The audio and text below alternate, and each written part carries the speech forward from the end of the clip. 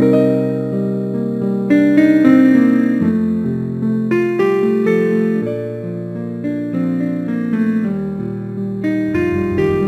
13 tháng 8 năm 2020, Thạc sĩ Nguyễn Trọng Khoa, Phó trưởng Bộ phận Thường trực đặc biệt chống dịch COVID-19 của Bộ Y tế tại thành phố Đà Nẵng thông tin về hai trường hợp mắc COVID-19 tử vong.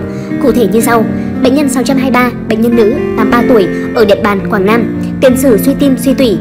Từ ngày 27 tháng 7 đến ngày 2 tháng 8, bệnh nhân được điều trị tại bệnh viện đa khoa khu vực Quảng Nam, được cách ly và lấy mẫu xét nghiệm. Ngày 2 tháng 8, bệnh nhân có kết quả dương tính với SARS-CoV-2. Bệnh nhân được bệnh viện đa khoa khu vực Quảng Nam chuyển đến trung tâm cách ly và điều trị COVID-19, bệnh viện đa khoa Trung ương Huế cơ sở 2. Được chẩn đoán COVID-19 biến chứng viêm phổi trên bệnh nhân suy tim, bệnh tim thiếu máu cục bộ. Ngày 8 tháng 8, bệnh nhân thở gắng sức, huyết áp tăng cao, được đặt nội khí quản, thở máy. Ngày 12 tháng 8, bệnh nhân có biểu hiện rối loạn vận mạch. Đến 18 giờ, bệnh nhân tử vong. Chẩn đoán tử vong, COVID-19 biến chứng suy hô hấp nặng, sốc nhiễm trùng, suy đa tạng không hồi phục. Trên bệnh nhân suy tủy, u đại tràng sigma, suy dinh dưỡng thể teo đét. Bệnh nhân 479, bệnh nhân nam, 87 tuổi. Địa chỉ ở Tư Nghĩa, Quảng Ngãi. Tiền sử tăng huyết áp và đái tháo đường tiếp 2 nhiều năm, nhồi máu cơ tim, đã đặt stent 2 lần, sơ vữa mạch máu hai chi dưới, cắt cụt bàn chân trái do tắc mạch.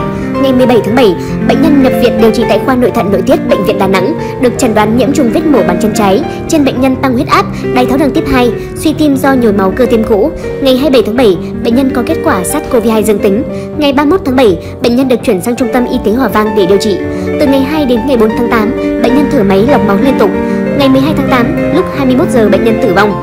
Chẩn đoán tử vong, nhiễm trùng vết mổ bàn chân trái trên bệnh nhân tăng huyết áp, đái tháo đường tiếp 2, suy tim do nhồi máu cơ tim cũ, suy đa tạng và mắc Covid-19.